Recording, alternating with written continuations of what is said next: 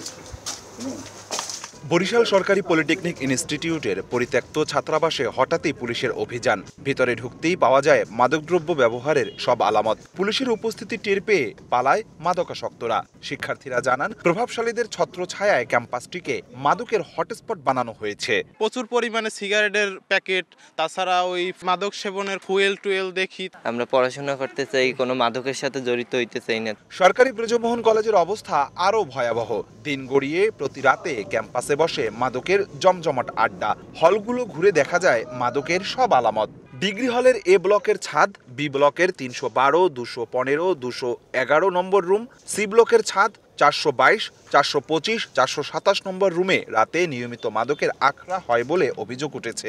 অভ্যন্তরীণ ও বহিরাগত মিলে অন্তত পনেরো জনের একটি শক্তিশালী সিন্ডিকেট চালাচ্ছে মাদক ব্যবসায়ীরা। আইন শৃঙ্খলা বাহিনীর অসাধু সদস্যরা রোজের টাকা রোজ ভাগ নেন। কতিপয় রাজনৈতিক নেতা নিজেদের শক্তি জিয়ে রাখতে ছায়া দেন মাদক কারবারিদের বলে অভিযোগ রয়েছে। ঝোপঝাড় বিভিন্ন জায়গায় যারা হচ্ছে বহিরাগত তারা এসে এখানে মাদক সেবন করে। বহিরাগত আছে অমৃতলাল কলেজ যারা ইন্টার তারপর আছে ওমেন্স তারপর আছে Hatem Ali college totally inter level সবগুলো। কলেজে এসে বাণিজ্যের পিছিয়ে আছে যারা। এখনই চাইলে দেখতে পারবেন যে কলেজে মাদক চক্র টোটালি চলতে আছে।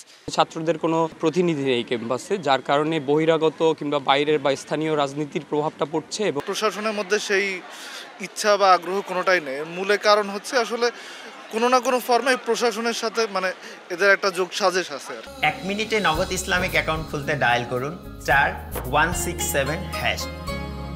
ক্যাম্পাসে মাদক কারবারিদের আনাগোনা বেড়েছে বলে স্বীকার করেন প্রতিষ্ঠান প্রধানরাও। ওরা আসলে একটা নির্দিষ্ট সময়ে ওই ওয়ার্ল্ডিংয়ে আসে। আমি নিজেও অনেক সময় ওদেরকে তাড়া করেছি। এটা যে তাদের মানে অভয়াশ্রম বা এটা কন্টিনিউয়াসলি হয় এই কথাটা একেবারেই সত্যি না কঠিন মনোভাব আমরা গ্রহণ করেছি এবং তারই একটি আহ, উদ্যোগ হিসেবে আমরা কয়েকদিন আগে একটি চিঠি আমরা ইস্যু করেছি। আর গতানুগতিক হুঁশিয়ারি দিয়ে শিক্ষা প্রতিষ্ঠান দুটিতে নজরদারি বাড়ানো হয়েছে বলে জানায় পুলিশ।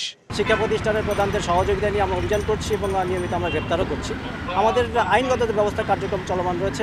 সরকারি ব্রজমোহন কলেজে তিরিশ হাজার ও সরকারি পলিটেকনিক ইনস্টিটিউটে প্রায় সাড়ে ছয় হাজার শিক্ষার্থী পড়াশোনা করছে।